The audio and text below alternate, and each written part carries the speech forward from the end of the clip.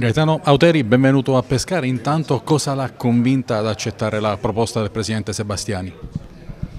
Ma cosa mi ha convinto? Intanto questa è una società che a parte il recente passato ha sempre operato bene, poi la piazza di che parliamo? Cioè, eh, basta soltanto dire che ieri sera in una semifinale del campionato europeo, ma questo già io lo sapevo da, da due anni,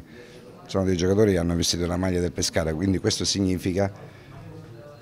quanto brava è stata la società ad agire, poi la piazza la conosciamo, è affascinante, ha sempre visto bel calcio e poi la voglia di rimetterti sempre in discussione, la voglia di dare una mano attraverso quello, quello, quello che so fare. E proveremo a far ricreare, a far ritornare il giusto entusiasmo in una piazza che chi ha voglia di accendersi, quello io lo so, perché poi dopo una delusione io dico che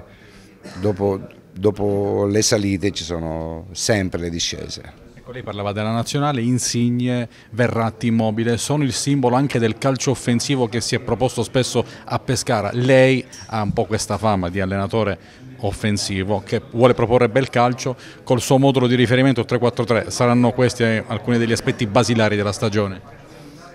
Ma noi cercheremo di imporre il nostro gioco, poi 3-4-3, eh, ripeto, lo, lo, dico tante volte, sono, sono soltanto numeri, avremo una identità forte, un'identità che avrà voglia di, di prendere il predominio sulla gara e sull'avversario, di creare e non concedere, di creare e possibilmente di realizzare e di concedere poco. Avremo questo tipo di atteggiamento, lo faremo sempre, non, non speculeremo sui risultati, avremo un atteggiamento giusto, un atteggiamento che ci possa consentire, almeno ipoteticamente, di vincere le partite non, non attraverso le perdite di tempo, le speculazioni, insomma attraverso il confronto con gli avversari. Senta, eh, l'obiettivo è la vittoria del campionato, le ha chiesto questo il Presidente? Ma, eh, difficilmente si parla così, ma cioè, noi non ci dobbiamo nascondere cosa possiamo dire alla gente. La gente si aspetta che diciamo quello, vinciamo il campionato, ma ciò che pensa la gente? Sfonda una porta aperta in noi, in me personalmente perché non, no, non mi piace soccombere, non mi piace subire e quindi, e quindi, anche se non fossimo a pescare, fossimo in una realtà inferiore eh, come prestigio calcistico o se non avessimo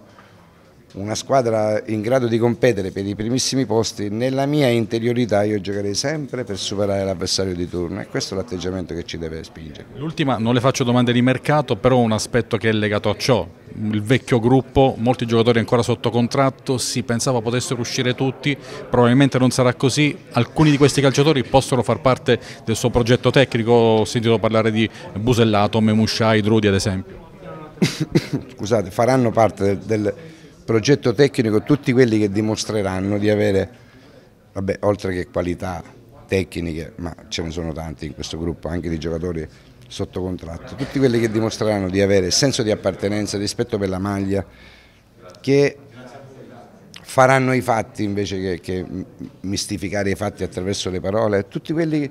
che onoreranno e rispetteranno la maglia e che avranno voglia di rimettersi in discussione e che avranno voglia anche di di superare delle, amare, delle amarezze che appartengono a tutti quelli che le hanno vissute, insomma è una sfida.